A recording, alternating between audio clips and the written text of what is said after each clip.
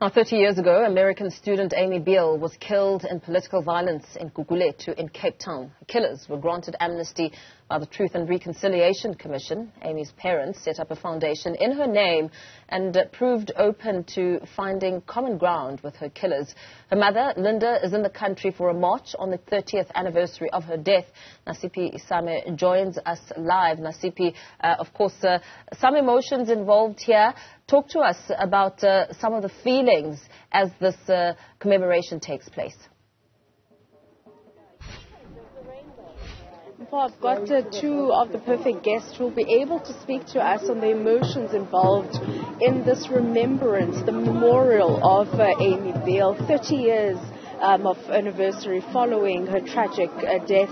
And her mother is here who's going to be speaking to us. And as you put it, um, uh, Linda, just not too long ago, saying that this particular site should have been a site where one is sad. However, it's a joyous um, celebration of the life of Amy Biehl. But to talk to us more in regards to emotions, I'm joined here by Untobeko Peni, sir. Um, you're standing very closely with Umamulinda there. Talk to us about the emotions 30 years following the tragic death of Ulinda, of Amy, my friend. Well, 30 years later, we've moved beyond the death. We've here to reflect on the power of forgiveness and reconciliation uh, tragedy turned into a beautiful uh, success story. Number of children that have benefited, the programs that we've developed across these 30 years. It's been a difficult journey, but an amazing one. One that we can't swap for anything else. Uh, when I look at Linda, I don't look at uh, the mother of Amy that I killed. No, it's something beyond that. It's a magic. Amy was a magic. It was a gift, and we appreciate that.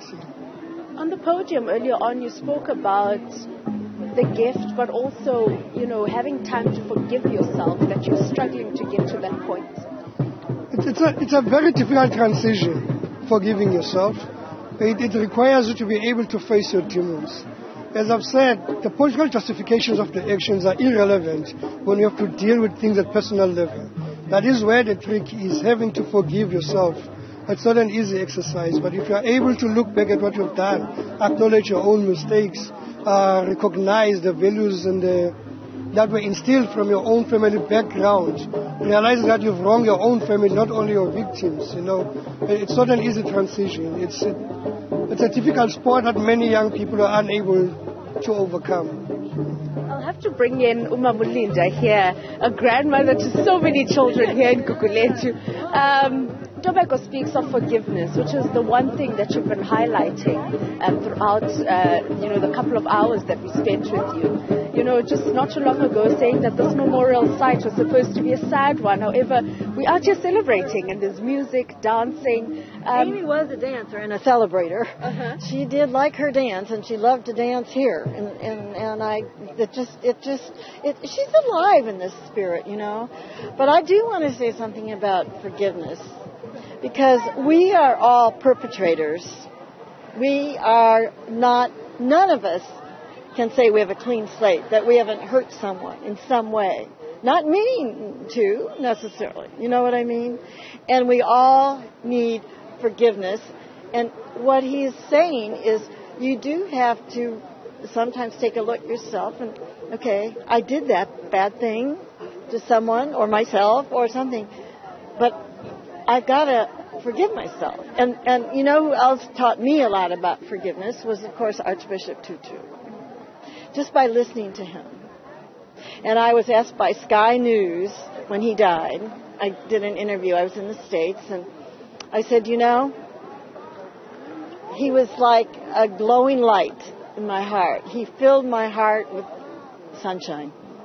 And once you realize that you You've done bad things too. We're all in this together. It's not one person or another person. It is about, it, it, we have to realize we are not perfect.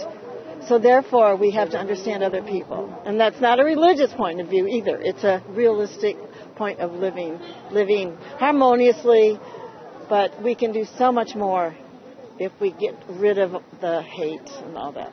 We'll have to leave it there. Linda Biehl there and Ntobeko Peni, as you heard it in Paul.